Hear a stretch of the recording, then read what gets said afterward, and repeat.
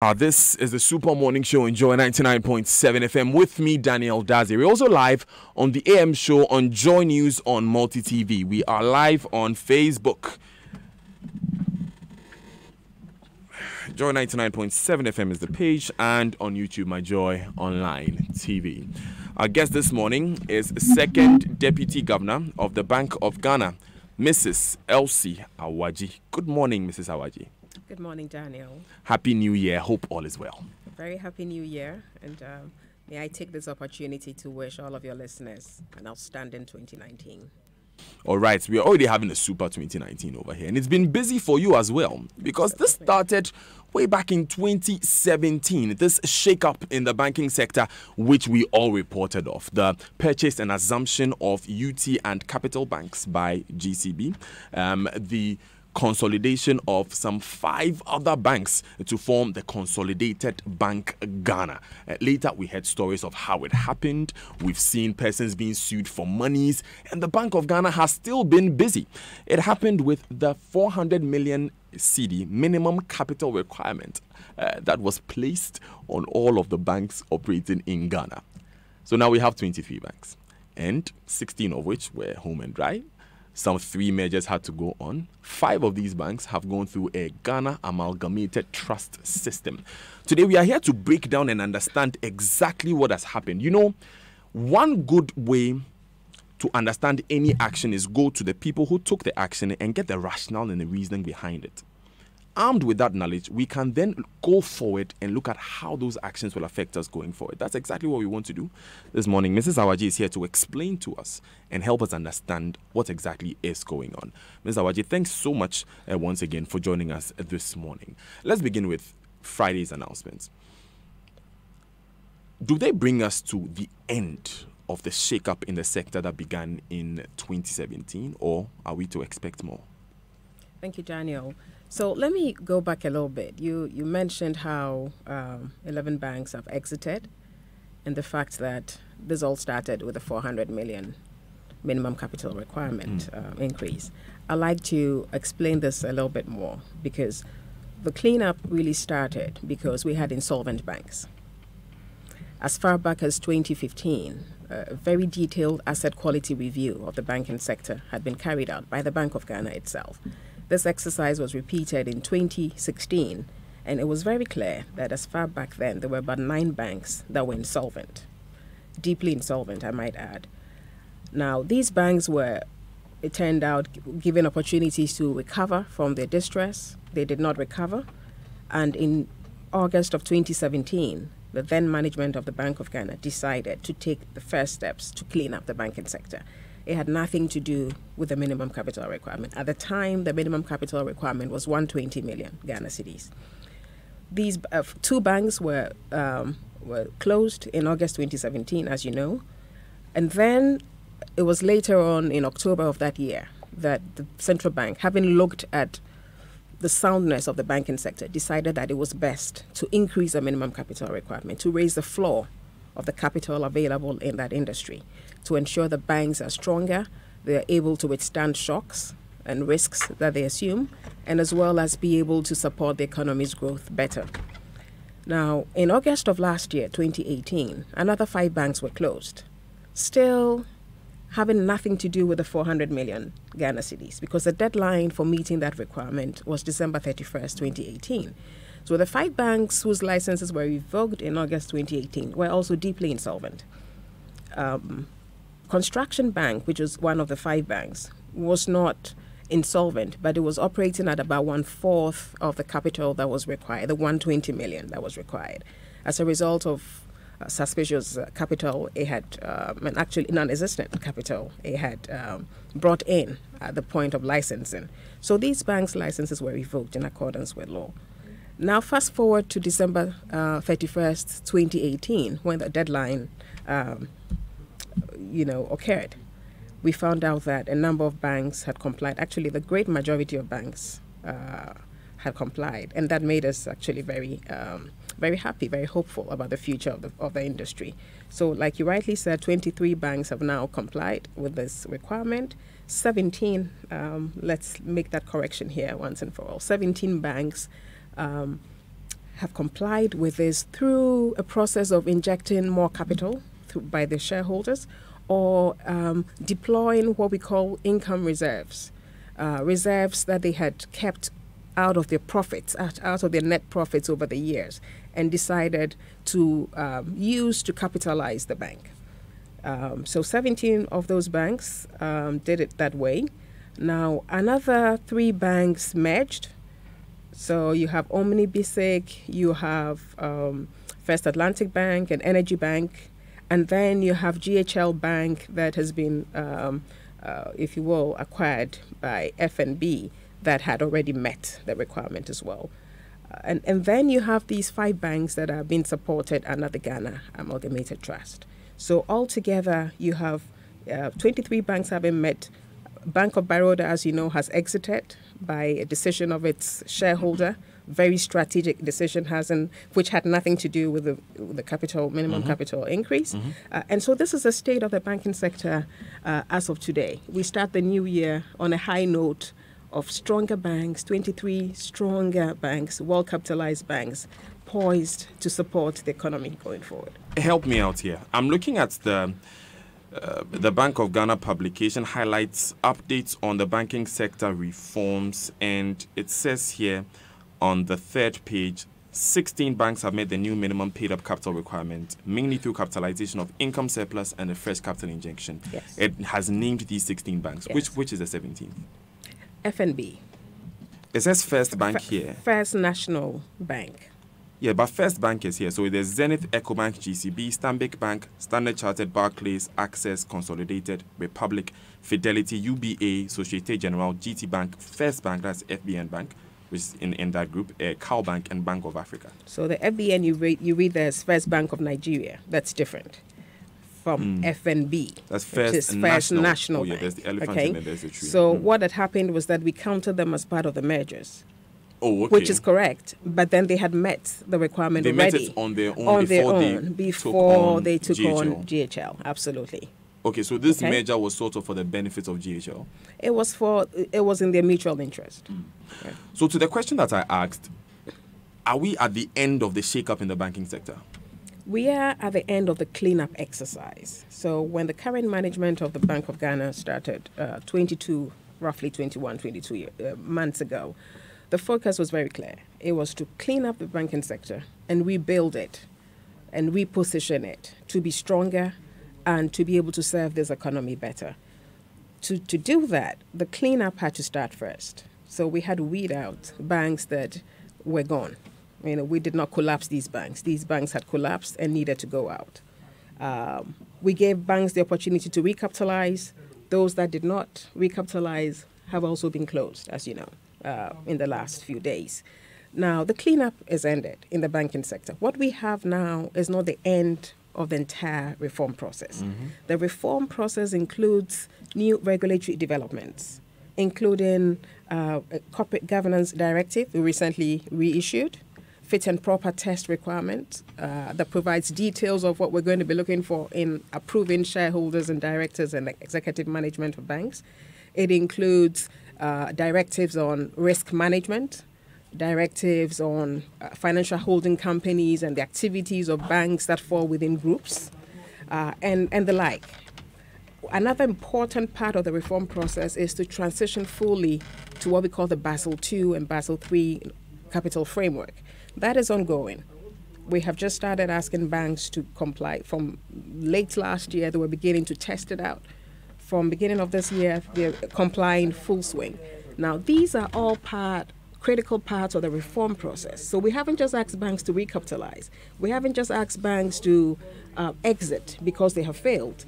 But we intend to continue to build the system so that each bank remaining is, is safe and sound okay. and resilient, as well as the banking sector as a whole is stronger because they're, they're complying with more stringent regulation. Our supervisory structures and processes and people are stronger than ever so that we can all begin to rebuild the confidence we need in the banking sector. So the sector is still undergoing some reform Absolutely. of, of sorts. Absolutely. But are we going to see any more closure of banks' purchase and assumptions, um, mergers which are marriages of convenience? The good thing as we speak today is that we can confidently say that the banks, the 23 banks remaining, are all now on a solid footing. Now, regulation is a dynamic process. Our objective is to ensure that we maintain stability of the banking sector. That's an ongoing process. So every day we're monitoring banks. Every day we want to make sure these banks are strong and safe. If anything comes up that gives us the impression that a bank isn't strong, we will have to take action at that point. But as of today, we can say that these 23 banks are all strong, they're safe, they're on a solid footing. And we will continue to supervise them to make sure they remain that way. Mm. Uh, the question still remains outstanding as to whether or not a UT capital would, would happen again. But let's move on for the sake of time. Um, but, but I, I, like to address that. Mm-hmm. We shouldn't leave that hanging because okay. we, you know, part of my being here is to make sure we clarify all these important issues. Would it would it happen again? Can you give the people today, of Ghana the assurance? As of today, we don't have any reason to believe that any of these banks. Uh, is is is not on a solid footing that would require us to do anything of that nature. But that's not to say that no bank can fail ever. What okay. we plan to do is to ensure that with strong supervision and with making banks and their shareholders and directors and managers themselves responsible for the safety of their banks, we would begin to see a stronger banking sector. So that I can assure you.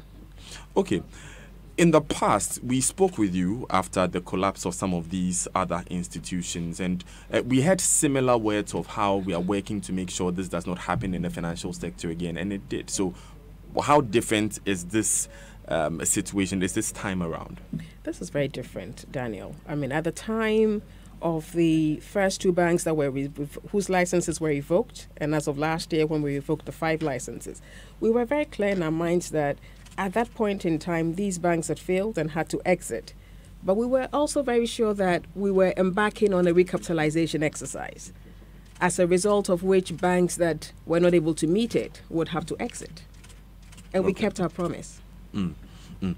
Let's talk about some of the more recent actions that we have taken. And let me just remind listeners that this is the Super Morning Show on Joy 99.7 FM. I am Daniel Dadzie here, and my guest, uh, Mrs. Elsie Awadzi, Second Deputy Governor of the Bank of Ghana. We are also live on the AM show on Joy News on Multi TV. Of course, we're live on Facebook as well. Joy 99.7 FM, that's our page, and Joy News on TV, that's the Facebook page we understand um, some private pension funds are putting uh, monies together to form the Ghana Amalgamated Trust, uh, which will be used to support, not bail out. That point has been made on a number of occasions. Support these five institutions that qualify. Which private pension funds are coming together to form the trust? Um, Daniel, I think this is a question that is probably best uh, addressed to the managers of GAT and the Ministry of Finance that has uh, helped you know, to put it together. Um, as far as we're concerned, we know that there's a group of pension funds, local pension funds, that have put money together. We have verified that there are commitments to these banks. We have verified that there's money available and earmarked for these banks that's unencumbered. And that is part of the capital verification process that we, we undertook. But the details of it, because it is GAT that is actually investing in these banks, and mm-hmm. that's what our interest was. We needed to understand who was behind GAT, and we were, were, were satisfied that these are persons that we're happy to have as um, holders of, as shareholders of GAT or as investors in GAT, that through which banks would benefit. So, who is behind GAT? Who has satisfied you? I think you should talk to GAT and the Ministry of Finance about it. I'm asking you. I'm Local pension funds. I think that you know that's that's as far as I can tell you. Local pension funds. We have checked with the uh, NPRA. That's the regulator. These are all in good standing. They exist. They are not fly-by-night funds. They exist. The regulator has held them to be uh, in good standing, and and that's all I can say for now. Okay. Um, the question goes unanswered, but we have to go on. Uh, well, Daniel, let's address that. I don't want to leave here with any unanswered no, questions in your mind. The question is, who, which pension funds are they? Can you name them for there us? There are a number of pension funds behind it. I think that we would not uh, leave here today if I was going to mention all of them. So. I, I think the point How many? the point I've made is that we can get all these details from GAT, and I think we should let that happen. Okay. okay. Um, I'm going to look at the fourth um, point that has been mentioned um, in the the recent statements talking about the details of GAT. Now, GAT has committed funds from pension funds, as you see, pension funds, which are a number and we, are unable to name. Absolutely. Yes. Well, um, there's a, a lot of them. So I think ideally you should talk to um, GAT for a list, which you can publish to your listeners if you want. I'm- I'm only curious because you mean you, you told us just a few minutes ago that you are satisfied with the persons behind GAT. Absolutely. According to the managers of GAT, well, according to the Ministry of Finance statement, GAT is local investors and pension funds. And um, we are unable to find out now what the number is. You're unable to tell us what the number is or who these pension funds are. That's just the curiosity because you have vested, we have vetted these pension funds. The, the investor in these banks is GAT. So you vetted GAT. We've, we, we vetted GAT and we verify that GAT has these investments Mm. from these uh, funds. And we have checked that these funds exist and are in good standing. So I believe that the list will be available if you would check. I want to read this part. GAT has committed funds from pension funds and other investors through a bond program with proceeds of up to 2 billion Ghana cedis to be used for equity investment in the eligible indigenous banks as determined by the investors. The bonds issued to the pension funds will be listed on the Ghana Fixed Income Market GFIM for liquidity purposes. Are these investors different from the pension funds? So this is a statement issued by the Ministry of Finance, right? Or by GAT? Eh, Ministry of Finance. This is not the Bank of Ghana. no, this is not the right? Bank of Ghana. Okay, so I'm not sure why you're asking me questions about uh, a statement issued by the Ministry of Finance. But suffice it to say that GAT is itself an investor in these banks, and behind GAT are bond investors, which we know to be pension funds. So I'll, I'd like to. So that's I think that's you've the asked the Ghana's- question in many different ways, That's the Daniel. Bank of Ghana's position Absolutely, on that. Okay, absolutely. okay, yes. Um, You've, you've asked it in many different ways. I hope that it's an important I question. have, I have clarified the question how mind. much is um, uh, how much is each bank receiving? Ooh. Mhm. From GAT? Yeah, from GAT. Well, each of these banks is in a different place as far as its capital is concerned, pre GAT. So each of them gets the amount that is required to bridge uh, the gap to 400 million. Okay, so it's not one number for everyone. Okay. Okay. it's not for it's not one number for everyone. No, but every the- bank is in a different place. but there are five banks. Surely, with five banks, we can we can go through uh, the, the details now. Can we not? Yeah, so what are you trying to find out? The total amount of money? No, the total as given in the statement Exactly, is two billion. 2 billion, Yes. So when you divide that two billion uh, into Well, five, I don't have the data right in front of me, but I know that every bank is closing. For example, you have Omni and Basic; they have merged, so the gap is much smaller. I think you're talking about uh, 120 million or so, compared to UMB or Prem or um, you know Prudential, for example, that hasn't merged. You know, neither of whom have merged, and so you're talking about a bigger gap. But altogether, we're talking about two billion. Okay. Now you have oversight over the in the entire financial industry. Um, that's not correct. Yes. Oh yes, of course. Um, That's not correct. We have oversight over banks, over specialized deposit taking institutions, and we have oversight over certain non bank financial institutions like leasing companies, um, you know, uh, mortgage finance, you know, houses. So and that stuff leaves like that. that yeah. leaves pensions. It leaves pensions, it leaves insurance, it leaves uh, capital markets activities like How the securities close have we been working with the NPRA? Because um, uh, my question here is that the National Pensions Act does not allow pension funds to invest more than five percent of their funds in collective investment schemes. GAT can be named as one of those investment schemes. So, in your speaking with the NPRA, how legal is GAT as an institution? Since you checked GAT as an institution, Well, I will start off by saying that, you know, with, with my knowledge of finance, GAT is not a collective investment scheme. Collective investment that can be scheme, argued. i- Of course, there are experts in the field who argue that it is. I, I, would argue that it's not. A Okay. collective investment scheme is a unit trust or a mutual fund or an REIT that pools small investors together to invest their funds in, in certain assets. This is not the case. This is a case of sophisticated investors like pension funds putting money in a, vehicle to invest in banks. That's very different from what you call a collective investment scheme.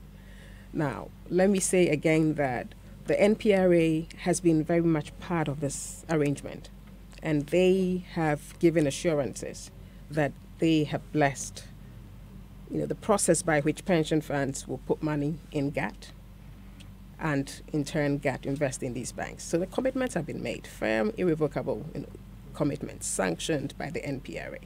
And the NPRA, as regulator, has taken a view on the state of the banking industry and the fact that GAT itself will be able uh, will be a good vehicle uh, in which pension funds can invest for the purpose of strengthening indigenous banks. And so that I think any more questions about um, how NPRA um, finds comfort in these arrangements are best addressed to NPRA. Mm, mm, mm. Okay, but what will be the impact on the, um, on the general securities industry as a reform as a form? As a result of these divestments that are going to be made by these pension funds and these various investors, have we have we considered that? You mean uh, at the back end when these yes, investors yes, yes. pull out? Yes, when these invest when these monies are being because these are monies that are being invested elsewhere and we are going to oh, redirect them. Right. We are going to redirect them into the banking industry. I think it will create. I, I can see only only good things out of this. Uh, it can it would create activity on the secondary market if these investment if these pension funds are invested in say stock market instruments, for example, uh, then they would be selling these instruments, and I would believe that you know it will create activity on the secondary market you know, it, it would provide opportunities for liquidity on the secondary market, and I think that's good. Mm. Uh, our guest this morning is Mrs. Elsie Awadzi. She's the second deputy governor of the Bank of Ghana, and she is. You know, we are going through exactly what has been happening with the banking sector in the past few months, really, and um, drilling down to exactly what is happening today. We've been spending a little time talking about the Ghana Amalgamated Trust and the banks that are being bailed out as a result. And we'll take these important messages. When we come back, we'll look at the criteria. I know um, a lot has been said in the publications made by the Bank of Ghana, but she'll take us through the criteria for selecting these specific five banks which are going to be supported by GAT. And then we'll look at, you know, the other sectors of the financial industry that the Bank, and, the Bank of Ghana looks at and what is coming there as well. It's a super morning show. I am Daniel Dadzie. Stay with us. I wake up in the morning, it's a new day, and I got bills that I have to pay. Now you're running late, running out of time. Feels like the world is waiting in line. All you gotta do is pick up the phone and just dial. So whatever you do.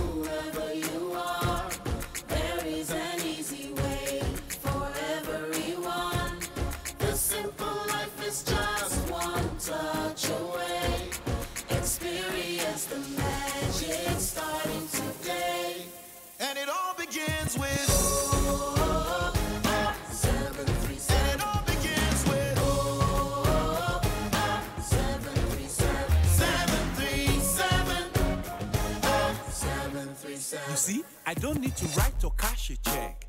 I don't need data or internet. I have something that's faster than a jet. Just like mm, what are you talking about? You could be a palm wine topper, a teacher, a rapper, a schoolboy, or a school girl, or a trader, a bank MD, a chairman, or a baker. Guaranteed Trust Bank. Wouldn't you rather bank with us? Hello. I say, how did you know? Vodafone normal 10 megabyte free data. It will call Smack Ruby Adrian. Share. Hello, have you heard that Vodafone is giving 10 megabyte free data for every minute you talk? You just dial 50 50. Yeah, hello? Aha! Right now, we the Vodafone people just the cocoa plenty. Sake of us, you talk one minute, you go get 10 megabytes. You talk two minutes, you go get 20 megabytes. Three minutes. Call Vodafone or any network and get 10 megabytes of free data every minute you talk. It's simple. Talk to browse. The more you talk, the more data you get. Dial 50 50 to subscribe. Talk more, browse more. Terms and conditions apply. The future is exciting. Ready? Would you buy a blade that doesn't cut? How about a freezer that doesn't cool enough to freeze? And what of medicine that wouldn't cure you or take your pain away?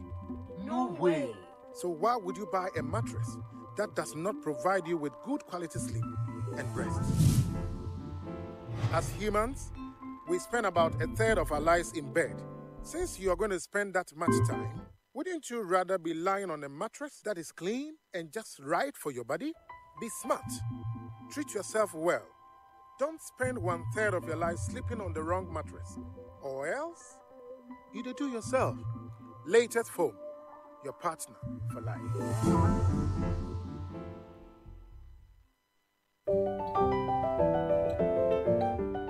Nationwide Medical Insurance, the leader in private health insurance, has deployed superior technology to make your healthcare experience more convenient and exciting. With the Nationwide mobile app, you can order your prescription drugs and we will deliver to your doorsteps. With over 600 dependable healthcare service providers, you're just a step away locating your service provider of choice and accessing hospital claim information in real time. Our corporate clients are guaranteed timely corporate utilization reports. We provide on site clinics to give employees access to healthcare in the comfort of their offices. Enjoy these amazing benefits and so much more by signing on to Nationwide Medical Insurance today. Call us on toll free number 0800 222222 or visit our website www.nationwidemh.com. Nationwide Medical Insurance. Join the healthcare family.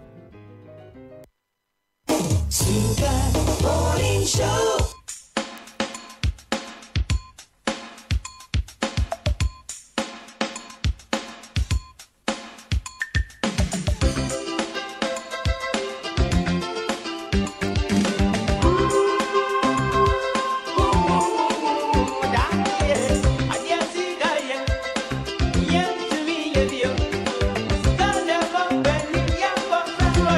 Daddy Lumba Sika Sem in the background.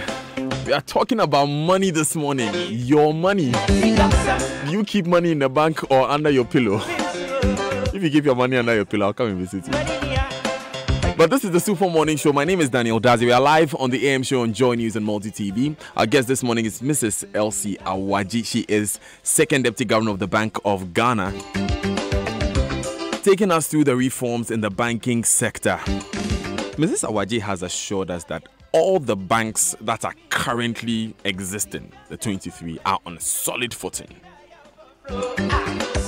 As far as the reforms so far are concerned, we won't see any more um, closures and what have you. But of course, that depends on the governance and the management of the banks themselves going forward. But at this point, you're on a solid footing. We're going to peruse some of these banks and look at exactly um, how solid that footing is, what how some of these decisions um, were, were uh, came about. But Afrodan is offering you today the most comfortable chair in the world, the Nightingale Extreme Comfort Chair. It has over 10 thoughtfully engineered features, especially customized for your health and comfort. Working has never had it this good. So go to Afrodan on the first floor of the Swanzy Shopping Arcade and feel the share. You'll be amazed. Now, if you're a real super football fan, this is your chance to see your favorite teams go head to head live in their home stadium in the UK. Open a Barclays Ultimate account, maintain a balance of at least 500 Ghana cedis, swipe to make payments with your Barclays card as often as you can to win an all expenses paid trip to the UK to watch your favorite teams go head to head live. You could also win a stadium experience in our local Superfan penthouse and take away exciting home items and your favorite team souvenirs. Don't miss out on your chance to experience football the way it was meant to be experienced live with Barclays. Visit our Facebook and Twitter for more information. Terms and conditions apply. Barclays, part of the ABSA family. A super duper deal in the Melcom Best Buy promotion. Enjoy amazing cracking deals on selected supermarkets products such as Don Simon, Heinz baked beans, and many others. A Melcom Best Buy promotion, super duper deals always. And remember, terms and conditions apply. Melcom Where Ghana shops. It's nine minutes past eight. Let's get back to talking with Mrs. Elsie Awadzi. Uh, thanks again for your time this morning. Uh, so we Yes, so she's Mrs. Elsie Addo Awadzi. Um, thanks again for your time um, joining us this morning. Uh, so, Ms. Awadzi, Mrs. Addo Awadzi, it, they go together, forgive me. Let's talk about GN Bank. GN Bank was downgraded to a savings and loans institution. Um, well, they submitted their banking, their universal banking license, and they have decided to be um, uh, savings and loans institution, but five other banks were saved through GAT. So why not GN Bank? Why was why did they not go through that process? Well, let me start, Daniel, by explaining that GN Bank's license, banking license, was reclassified as a savings and loans Okay. institution. It's very important to maintain that. Reclassified. Uh, it, it was Hmm. reclassified. It already had a license, and it was surrendered it for another license. Mhm. So the, the issue of downgrade doesn't come in because every institution is important. Every category every tier. Okay, so you don't you don't see it as a downgrade. It's not a downgrade. Okay. It's a it's a it's a reclassification. That's okay. That's that's that, that's let's let's stick with that. Um, no, secondly, is that the five banks uh, benefiting from GAT include two state-owned banks, Mm-hmm. right? Uh, NIB and ADB. Mhm. So those are the responsibilities of government. Uh, and government somehow has had an arrangement with GAT by which these banks have been recapitalized. Um, the three other banks uh, were chosen by GAT on the basis of solvency and good governance. So those were the criteria that GAT, in their engagement with us as regulators, they were very clear that they were only going to put money in private banks that were one solvent and two had made efforts to try to raise additional capital, uh, but also uh, and, and for market reasons had not been able to raise them. And three, these banks were well governed and well managed.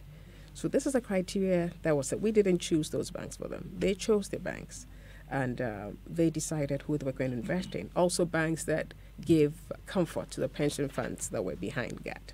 So that's all I can say on that. Uh, uh, we we we've been very clear uh, in our discussions with them that these are not. We, we were not going to offer any banks to them. We had a criteria. Uh, we had a requirement for the whole industry, and we were going to ensure that everyone met it. Mm. And that's all that we did. Mm. Yeah. From where you sit, away from what what informed people's decisions, from where you sit, is GN well governed and solvent? Well, GN, like we said, we have given it a new license, right? We, we have approved a new license for it. And so, uh, on, on that basis, we're sure that it will continue to survive, it will continue to do well. Uh, we have said also in our press release that we've appointed an advisor for GN Bank to ensure that the transition from banks back to savings and loans is done smoothly and that it does it in a way that makes it sustainable. So, of course, we're going to be keeping very close uh, tabs on GN Bank, making sure that they're transitioning right and are sustainable. Mm, mm. But then, of course, it's the opinion of some. Of course, uh, I don't know whether or not the bank agrees, but it's the opinion of some, obviously, that they do not, they are not as well governed and as solvent as, for instance, Omni and BSIC. Well, I, I mean, we're not GAT. Bank of Ghana is not Which is why I was asking that from We where you sit, made- what is the. Like I said, you know, the, you know, the decision in terms of which banks GAT was going to invest in was purely on the basis of GAT's own assessment and the assessment of its investors, and we had nothing to do with that. As regulators, we could not have been part of that discussion in terms of who's going to be picked. Mm. We just wanted to make sure everyone that existed from uh, the date on which we made the announcement, you know, had met the requirement, and, and that's all we're Mm. interested in. Yes. Mm. Now, let's talk about some other um, sectors of the financial industry now that you still have oversight over. Now, we have about 566 licensed microfinance institutions. In 2018, 211 are active but distressed and folded up. That's 37%. Also, out of a total of 141 rural and community banks, 37, that's about a quarter, are active but distressed or folded up in total. It's estimated that 272 out of the 707 institutions in the subsector, representing 38.5%, are at risk. This indicates that approximately 740.5 million Ghana cedis is owed to an estimated 705,396 deposits of the distressed or folded ups, folded up uh, microfinance institutions or rural community banks. So, in terms of the significance, these deposits under distress form 8.81% and 52.49% of industry total deposits of commercial, uh, rural banks and microfinance institutions, respectively. 52% of microfinance institutions. This, according to the Bank of Ghana's 2018 report. So we've we've talked about the banking, the main banking sector. What about these sectors? Well, I think we've always said that uh, after the banking sector cleanup, we were going to turn our focus on the what we call the SDI sector, which is the specialized deposit taking institution sector. The, these include the savings and loans, finance houses, microfinance, and rural and community banks.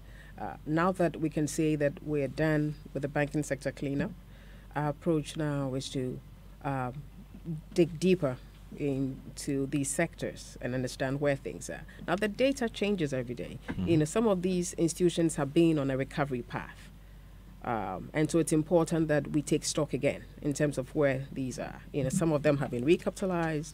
uh, since the report was put uh, Absolutely. Okay, and so the, this is a constant process where uh, we, we closely monitor. And like I said, now that we're done with the banking sector cleanup, we're turning our focus to these institutions, assess where they are and which ones uh, can stay and which ones um, will be dealt with. Mm. So by by dealt with, you mean some maybe may have to be closed down. It, it depends on mm. where they are. It depends on where they are. We expect all financial institutions to meet the regulatory requirements. If they if they do not meet it, and they'll be given an opportunity to re, you know to redress uh, and, and, and they continue to lag behind, then appropriate action should be taken in the interest of depositors and in the interest of, of the stability of the entire system. Mm. So this is a, an ongoing process. Mm. A, a, few questions uh, before we, we step out of the studio now. Is the consolidated bank out of the liquidity issues yet? We understand that even though there was a 9 billion bailout, um, some customers found it, difficult accessing their funds. Some even alleged, of course, these are allegations that the nine billion never got to um, those banks. Um, can you uh, throw some more light on that? I'm not sure where the nine billion is coming from, but you know, Con- Consolidated Bank had taken over five banks um, as of August 2017, and for that, a bond of 7.6 billion was issued to it by the Ministry of Finance on behalf of government.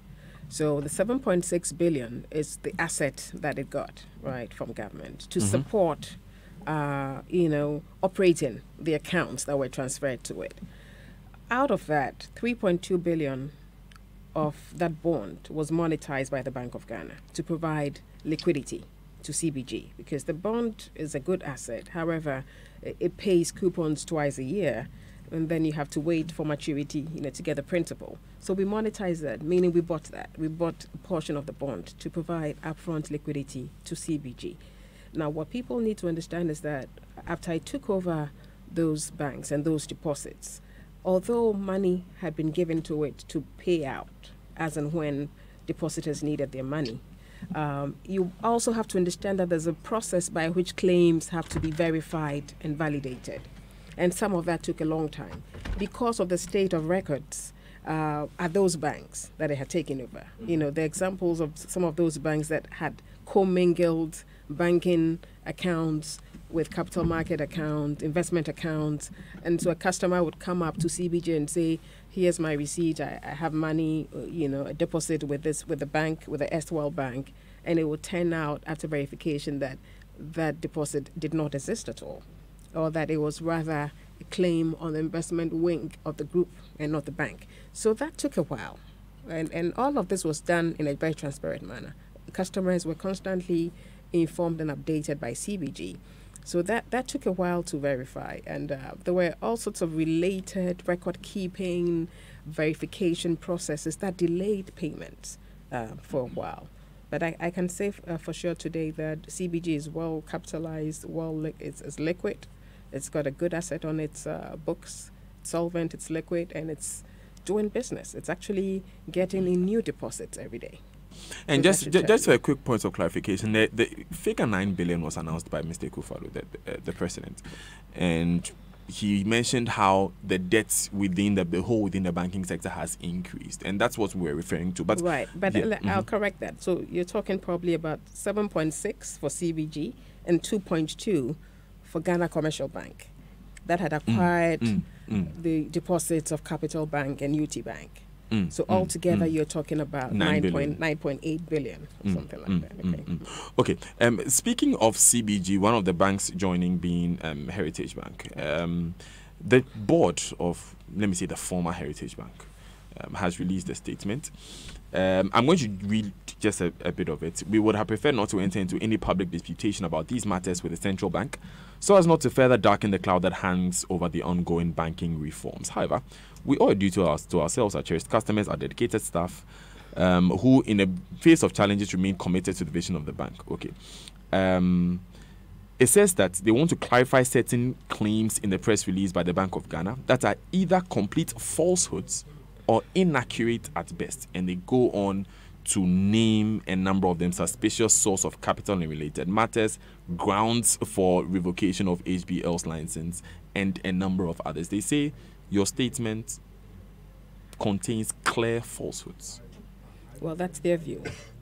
And our view is that we're standing, we're standing on solid facts and law. And uh, that's where I'll, I'll leave this matter. Yeah, I mean because it's it's names just the first one, the suspicious source of capital and related matters, as part of its due diligence ahead of granting of HBL's provisional banking license. Um, it had requested and received confirmation from COCOBOD of the existence of the contractual arrangement between COCOBOD and the said shareholder. Daniel, we've examined all the records available to us, internal and external, and everything we said is backed by the facts available to us. Okay.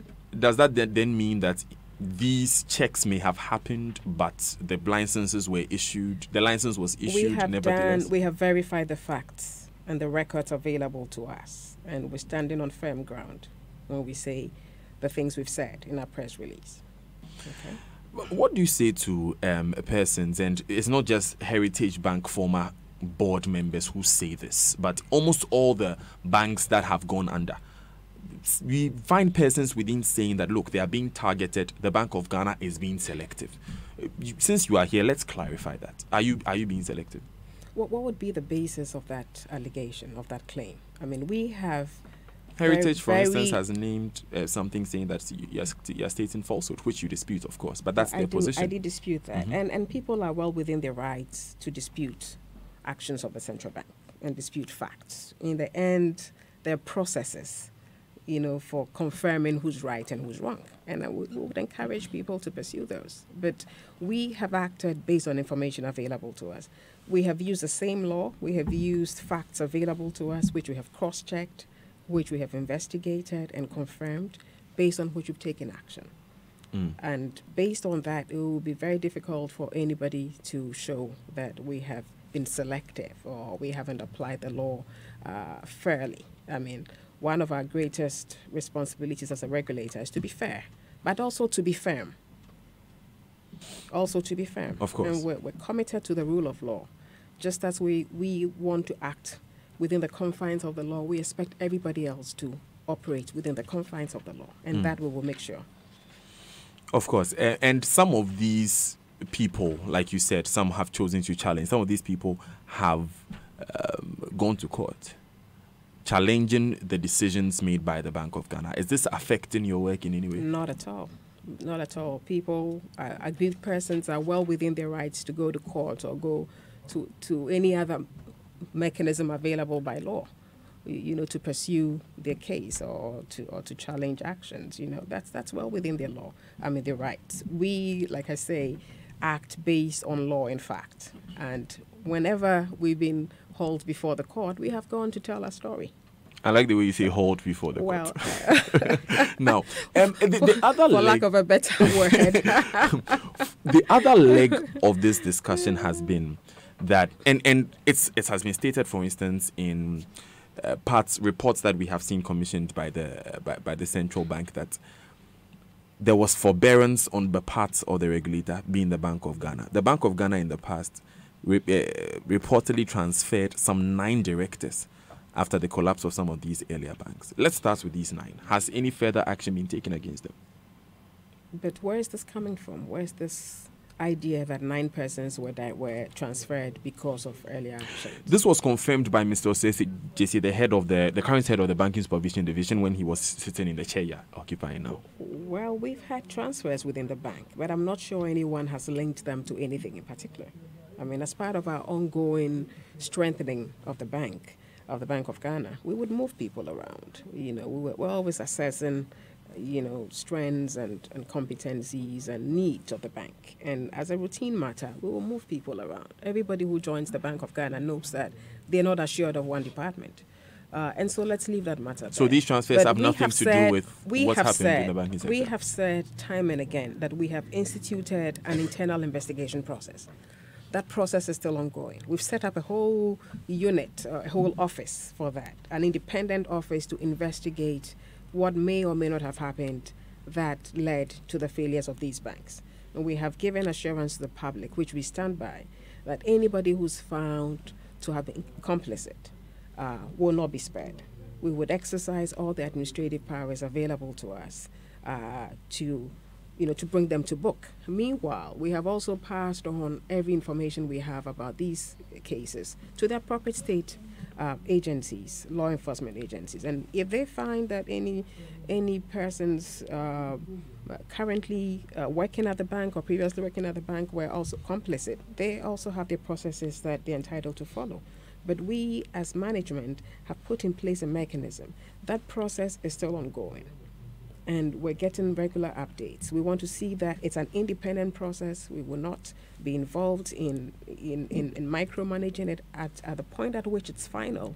You know, options will be clear to us. So there are BOG officials who are currently being investigated by state institutions uh, It, like it, EOCO? it would appear. So EOCO and others that are involved in investigating everything that may have occurred with the failure of those banks Mhm. have free have have the free you know reign to call in anybody.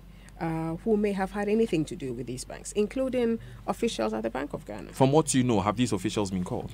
Um, may, well, I don't know. It's an ongoing process. So it may be that some of them have been called. Um, I know that a good number of people have been called.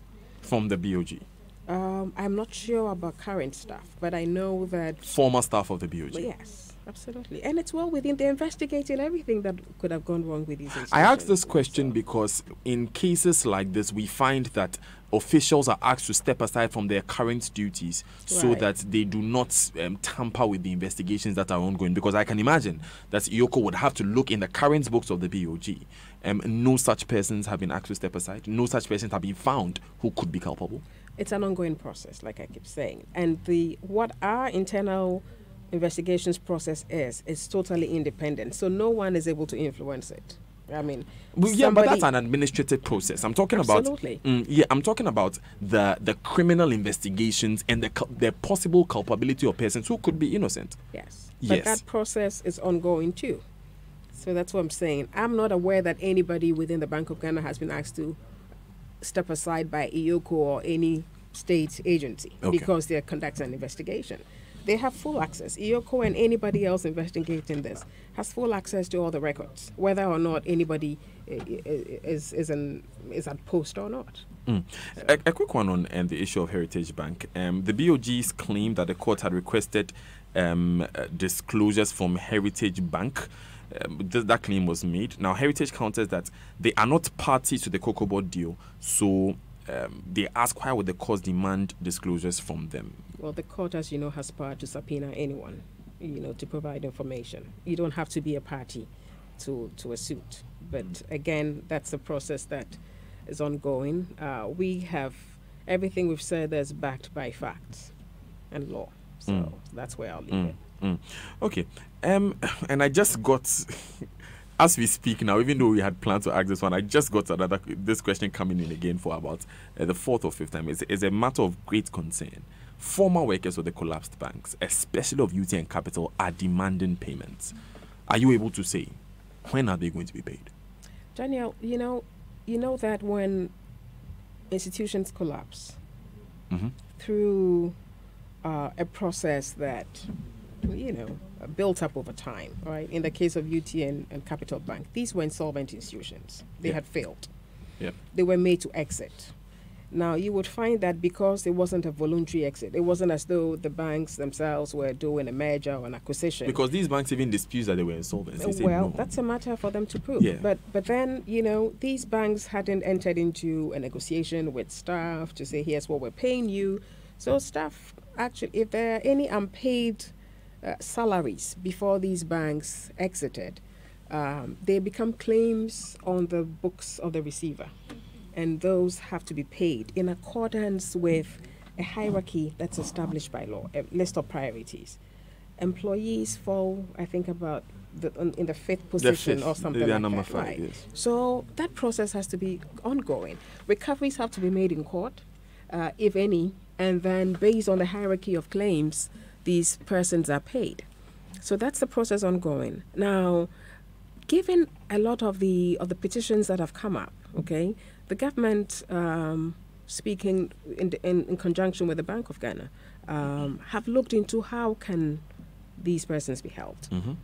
Okay, and the Bank of Ghana has decided on purely humanitarian grounds, purely humanitarian grounds, that what was owed to it by virtue of liquidity support that it had given to these banks, which ranks very high in the hierarchy of claims, um, what should have come to the BOG, okay, should be used in part to pay off some of those claims for the two banks.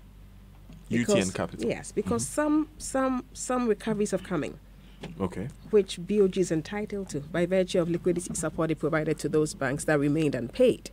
Um, but purely out of humanitarian grounds, the Bank of Ghana has decided that we would allow you to take part of our money uh, to alleviate you know, the hardship uh, of these former employees uh, because we really care about them too. But, And you know, liquidity support is number two on the list. yes.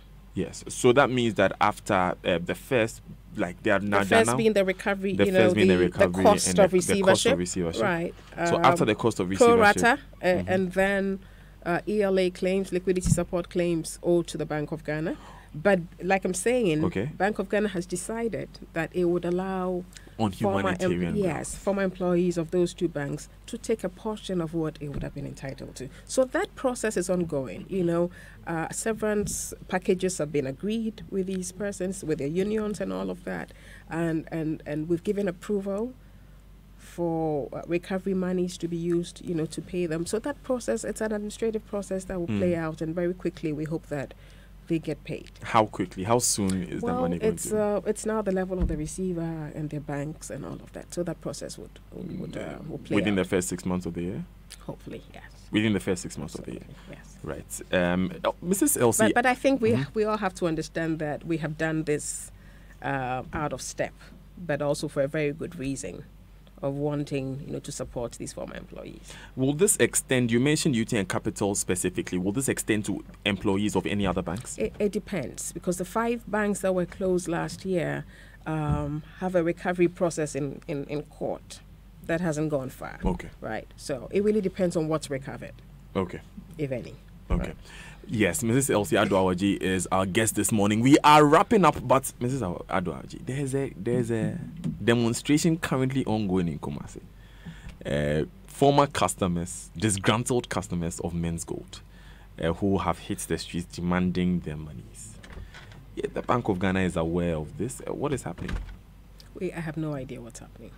I'm Mm. sorry. Uh, Bank of Ghana has been very clear uh, for a long while about the fact that this was an unlicensed operation. We were not responsible for it. We tried. We warned the public uh, at different points in time. We told everybody if they continue to keep their money there, they did that at their own risk, and that's all I can say about it.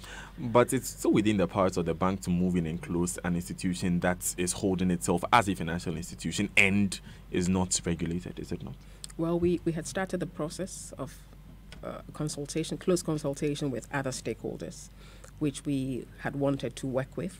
Uh, you don't just get up and close an institution. You need to understand what's there. What are they holding? Whose deposits? What in what amounts? How are they invested? If you close them, where can you find it so people Mhm. can get? And so that process it takes a while. It takes a while. And with with Menzgold, we had no no visibility at all in terms of what was going on there. So it was a process to unravel the mystery behind it and, and then at some point to act. But we were working in close consultation with other agencies. And of, of course, it was um, closed down by the action of one of our sister regulators. And um, so that's what it is. But we had warned the public that they were at risk. So now the public is on their own? As far as we're concerned, we had issued enough warning. And I think that we had done our work. We're being told that on humanitarian grounds as well, we should consider um, the, amount, the amount of monies lodged. We, we don't even know how much money you're talking about. We have zero visibility on that, and we have we, we did our work by consistently advising the public. You're being called um, insensitive. And not you, I mean government is being called insensitive, Well, wicked as a result. I, I speak for the Bank of Ghana, Mhm. so I, Well, it is part of government. I- It is part of the it's, state. It's a state institution. Yes. and uh, I have told you what we did about it. So Mrs. Elsie Addo Awadzi is was our guest this morning. It's 26 minutes to the top of the hour here on the Super Morning Show. Enjoy 99.7 FM. We are done, but she has a few final words to say. Thank you, Daniel. Um, it's been a great um, time with you. I hope that all of your questions are answered, and the questions on the minds of your listeners have been clarified. But I just want to add by saying that at this point in time, we have 23 strong banks. We have come a long way. It's been a painful 22 months or so. Uh, and we can say, we can all say that we have achieved you know, the objectives for which we set out to clean up the banking sector. Going forward, we're rebuilding the industry with stronger regulation, with stronger supervision. On our part, we're reforming our systems, our processes, and our people uh, to ensure that we can be more effective supervisors. We're putting in place uh, safeguards like a deposit insurance scheme so that from the third quarter of this year, your deposits are all protected without risk to without a risk to the taxpayer if a bank were to fail. And I must add that um, one of the things that we're doing as well together with other regulators in the financial system, Okay. and, and this is through the the uh, the wisdom of the president, His Excellency the President of Ghana, is that we're we're now part of what, what is called the Financial Stability Council, which has just been recently established. Mhm. And the objective of this council is that the Bank of Ghana, the NIC, the NPRA, the SEC should not only be concerned about the segments of the financial system, while each of us should regulate and supervise these uh, subsectors very well, we also need to work together and think through what we call systemic issues, issues that affect all of these subsectors, so that Mhm. together we can all build a resilient financial system. And we're very happy to be part of this initiative. Uh, we're encouraging all depositors to be reassured that their deposits are safe in these banks.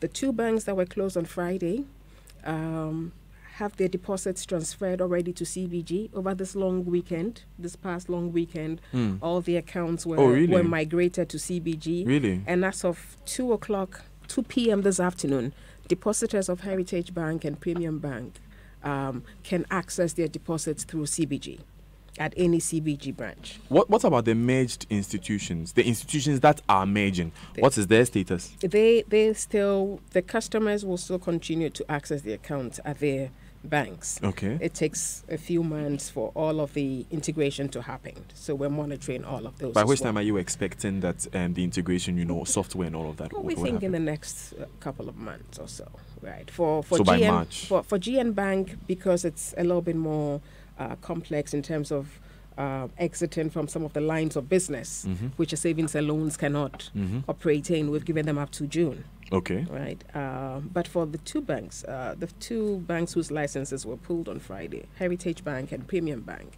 uh, their customers can, as of 2 p.m. today, access the deposits from any of the CBG branches around the country. Now, Not just the branches that they used to bank with. They've, they've been migrated into Nice. uh, you know, just to make the process a little bit more Okay. uh, streamlined. And, and these deposits are safe, and so they need not rush to go get their money. If they need them, of course, it will be available there for them. Mhm. Okay. So on that note, I just want to again wish your listeners a very happy Mhm. and outstanding 2019, and uh, we count on everybody's the reigning support word here is super, super. super, super, super good 2019, Mhm. and we count on the on the support of all stakeholders as we together build a more resilient financial system. Yes. A- And just because I've, I've been asked this question so many times personally, no intervention from the Bank of Ghana on Menzgold. You're quite persistent, aren't you? No, it, it, I mean just as persistent as people we, have we been don't with even me. have the power to intervene. We, I mean, we we don't we didn't regulate it. There's no way we're going to give it anything. We we don't have anything to do with Menzgold, unfortunately. Okay. Unfortunately. So no intervention. nothing.